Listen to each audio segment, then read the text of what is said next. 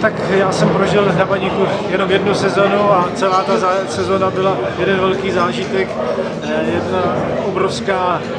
oslava fotbalu, kdy se nám podařilo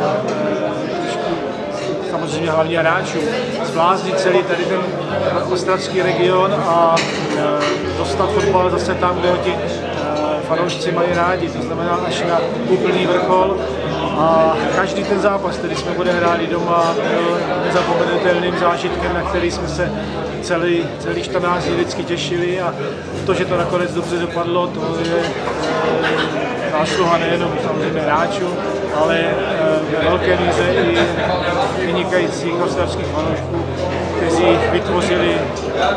našich nejenom domácích, ale i venkovních zápasech vynikající atmosféru, krásnou choreografii. Prostě to je zážitek, na který člověk nezapomene do smrti. Já bych samozřejmě rád, aby Baník se vrátil tam, kde bychom ho my, co Baníku faníme, rádi viděli. To znamená, že až na úplný vrchol. Zdá se, že po nějakých těch letech, kdy se tady překonala určitá krize díky novému majiteli, jak jsme dneska viděli, se vybudovalo spousta,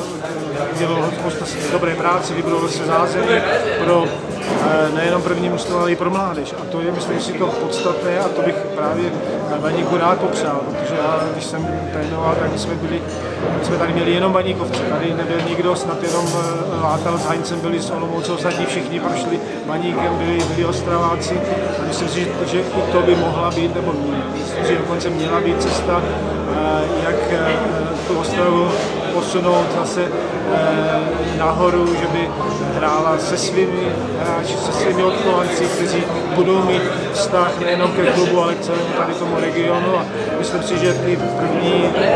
vlaštovky už v tom prvním už jsou a věřím, že touhle cestou, takže Baník bude tam, kam jsou všichni přejeme vidět.